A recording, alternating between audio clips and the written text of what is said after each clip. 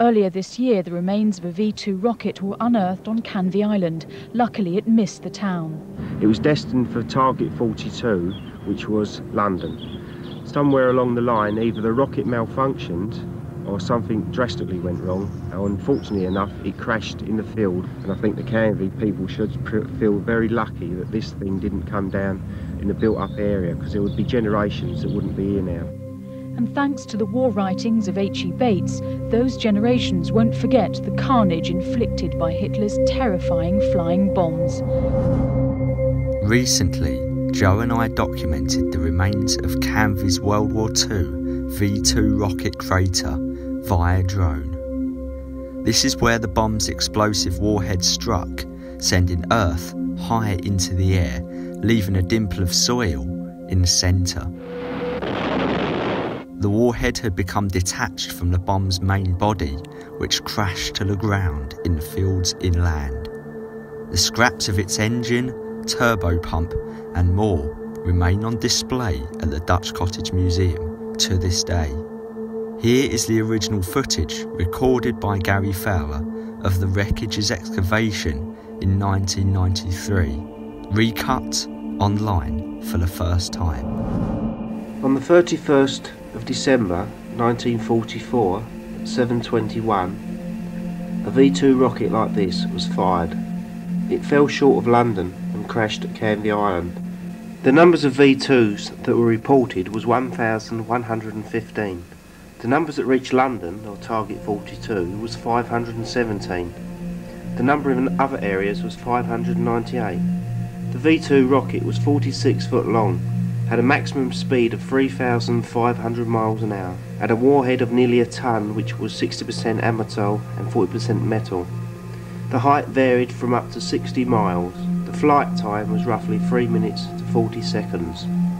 These are the remains of what they called the Southend rocket. It crashed on October 11th 1944 next to Southend Pier. The recovery team at the time recovered this Venturi, which is the part of the bottom end of the rocket which the fire and the mixtures would be squirted in. The parts you see on this video begin with the Venturi, which is the first part of the wreckage that we found when we went over to the fields. All that was on show was a top part, roughly 6 to a foot of inch showing. Also, later on in the video, near the end, we came across the turbine and the pump assembly, which is this blue area here. Also in the area must be the liquid oxygen tank and the alcohol tank. The Canvey V2, which crashed off a Canvey Way, was fired from Holland, near The Hague or The Hague. It left on the 31st December 1944, travelling across the North Sea on its way to London, but it crashed on Canvey Island flight time was 3 minutes 40 seconds at 7.21 on that 31st. What a Christmas present.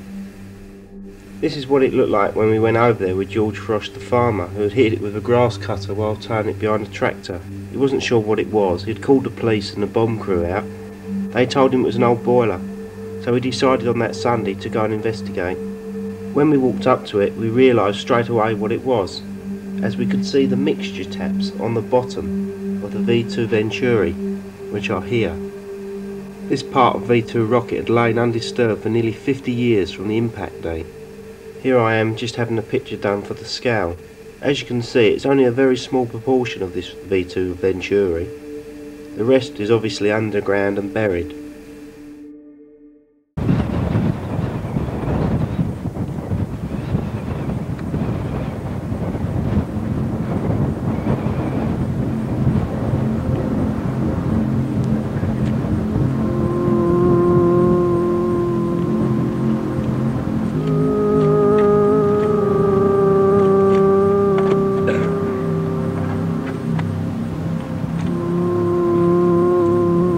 The V-2 bomb, which crashed in the fields south of Canvey Way, scattered fragments far and wide when the warhead exploded.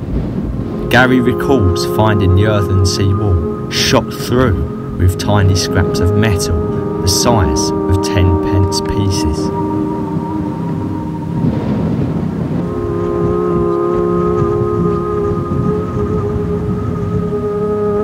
It was reported that barn doors at the nearby Pantile farm were blown off by the shockwave.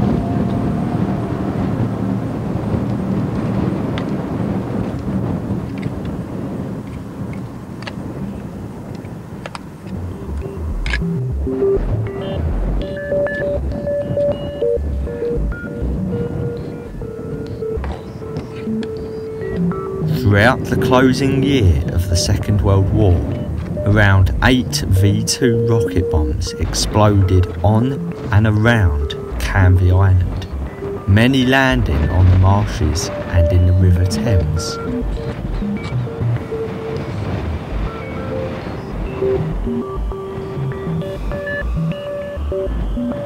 Fortunately, there were no human casualties. However, a V1 flying doodlebug bomb did strike the island at Deepwater Road, resulting in five lives lost and nearly 30 injured.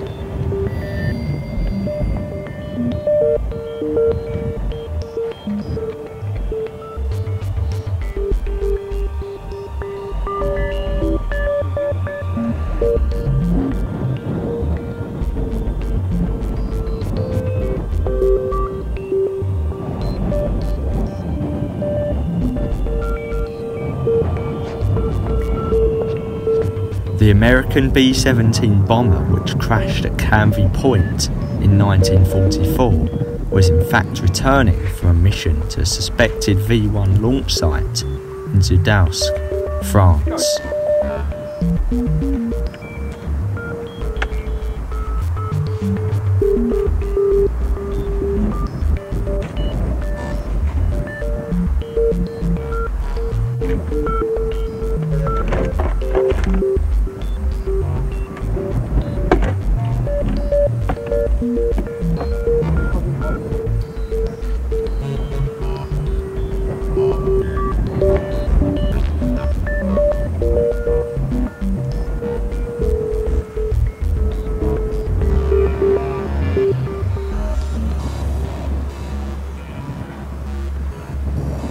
Whilst Hitler was fighting a losing battle after the D-Day invasions, didn't stop him from trying to inflict terror upon England's population.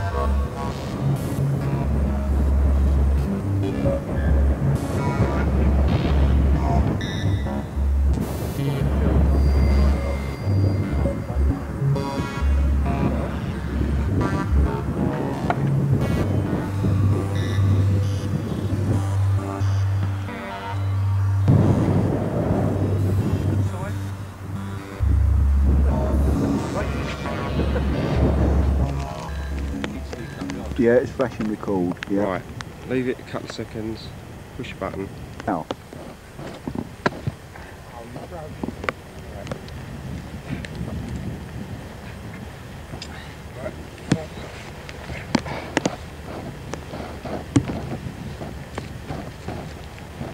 Can move that round uh, with the handle.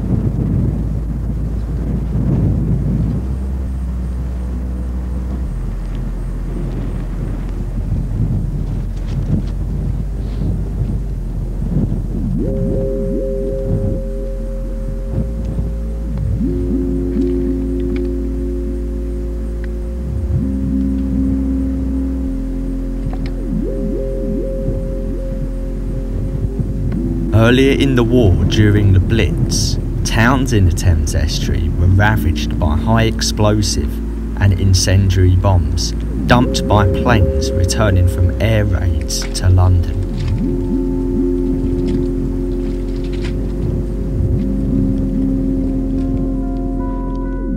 With the oil refineries at Shell Haven and Coryton to the west being targeted, Canvey and Fobbing marshes became littered with both enemy and Allied munitions during the Blitz.